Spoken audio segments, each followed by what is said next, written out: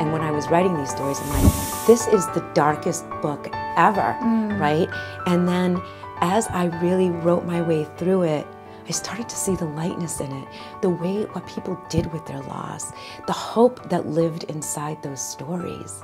People took this darkness in their in their life and they really turned it into light mm -hmm. to help people.